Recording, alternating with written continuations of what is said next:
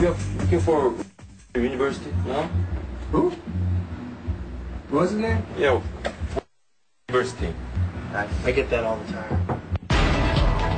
취재진은 괌 지역 어디에서도 M 대학의 존재를 확인할 수 없었습니다. 취재진은 또 다른 한국인 이사장이 괌에 설립했다는 W 대학교를 찾아갔습니다. 인터넷 홈페이지만 보면 꽤 규모를 갖춘 대학인 듯 보입니다. 직접 찾아가 보니 대학은 앞 건물에 가려 도로에서는 잘 보이지 않는 건물 한 동이 전부. university라는 간판이 무색할 정도로 낡은 창고처럼 보였습니다. 일반적으로 이제 대학교라고 그러면은 이제 완전히 캠퍼스가 넓고 네. 그런 걸 생각하지 네. 누가 university라는 타이틀을 걸고 저렇게 한다는 건 생각이나 하겠어요 여기 로컬 주민들이 사무실을 지키던 학교 직원은 취재진에게 괌 정부로부터 인증받은 온라인 대학교라고 소개합니다. from Guam government for business license, for online study, for cyber cyber study. 이 대학 역시 괌 세무국으로부터 받은 영업 허가증을 가지고 있었습니다. 학교 내부를 둘러봤습니다.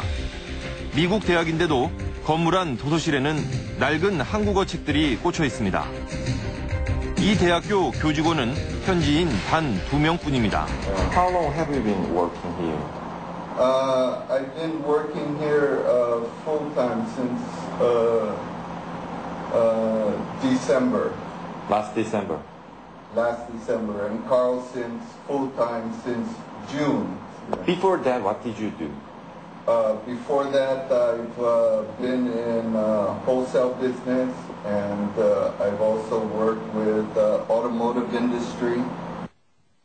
이 직원은 졸업식을 하기 위해 한국에서 학생들이 올 때도 있다고 말합니다. We have had some. Uh, the last graduation was in Korea. Not all, maybe not with all the students, but with uh, some of the students like that. Say, how many students do you normally have semester Um, on the average?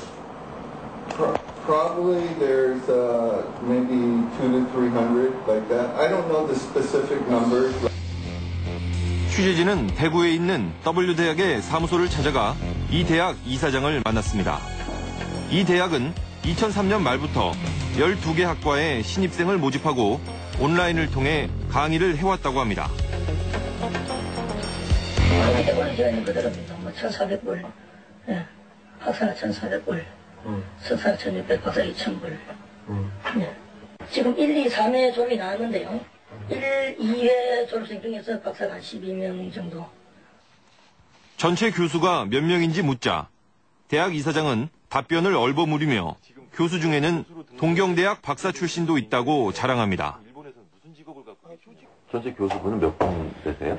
어, 지금 연수는 제가 그, 몇 분이다, 이렇게 모릅니다. 그, 이분, 동경대학의 박사입니다. 하지만 취재진이 연락처를 알려달라고 하자 말을 바꿉니다. 그러면 학위 받고 지금은 어디서 일하시는 분인가요? 일본, 사, 일본에 있습니다. 일본 사람입니다. 그러니까요. 어디서 근무하시는 분이에요? 일본에 있죠. 아니, 그러니까 일본에서 뭐 하시는 분이냐고요, 이사장님. 일본에서 이제 그 뭐 여러 가지 일을 하시겠죠. 제가 이제 일일이 교수들을 체크를 안 하거든요. 오늘 현재 이 많냐. 근데 제가 하거든요. 지금 이, 여기 사무실에서 이분들 지금 뭐 하고 계신지 아시는 분 계십니까? 확인 결과 이 학교 홈페이지에 올라와 있는 강의는 대부분 신학 과목 수업. 게다가 모든 강의는 이사장 자신이 도맡아 하다시피 하고 있었습니다.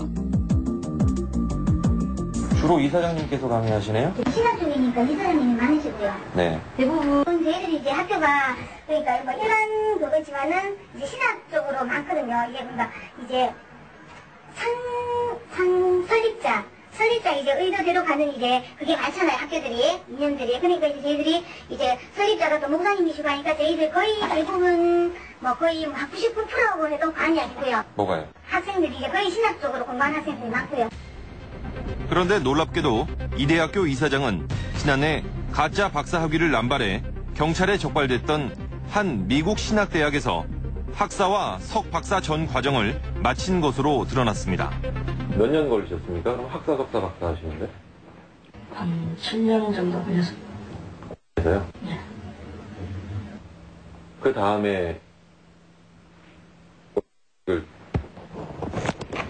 만드신 건가요? 네, 그렇습니다. 몇 명 안 되는 교수진은 대부분 현직 목사들. 학교 측은 이들 목사들이 봉사 차원에서 대부분 무료로 강의를 하고 있다고 했습니다. 그럼 교수님들은 이름만 올려놓으셨지 직접적으로 월급을 주거나 이러지는 못하신다는 말씀이군요. 실제 이제 강의를 안 하니까 이제 그 강의 이제 하는 과는 이제 조금씩이라도 이제 인사를 했죠. 조금씩이라도. 얼마씩 주시는데요?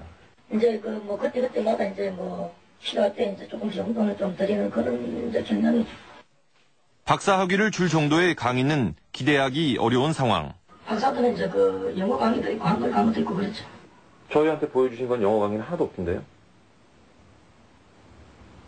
어디 영어 강의가 있다는 말씀이에요? 대학 이사장에게 왜 괌에다 대학을 세웠는지 물어봤습니다. 근데 굳이 괌에다 세우신 이유는 뭐예요?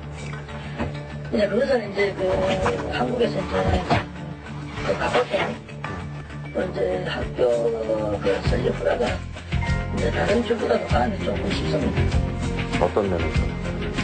이제 과음은 이제 그저 관광 때문에 네, 관광 특구기 때문에 좀 일반 이제 LA라든지 뉴욕이라든지 이런 쪽보다도 이제 그좀 혜택 면이라든지 여러 면에 조금 다른 쪽보다 좀 쉽습니다. 그런데 이처럼 괌에 미국 박사 학위를 남발하는 대학교가 늘고 있는 것은 그만큼 쉽게 학위를 받으려는 수요자가 늘고 있기 때문입니다. 사실은 이제 목회자가 그런 유혹을 많이 받는데 교회가 조그만 교회일 때는 뭐 그런 거 없다가 교회 사이즈가 좀 커지고 하면은 어 이게 그 외부적으로 자기 어떤 프라이버시라든지 어, 드러내놓을 만한 어떤 학위가 없으면 그런 콤플렉스에 빠진 것 같아요. 그래서 그런 어, 수요자가 있기 때문에 이런 또 공부본이 있게 되고 그런 악순환이 반복되는 것 같습니다. 지금 박사 가운을 착용하고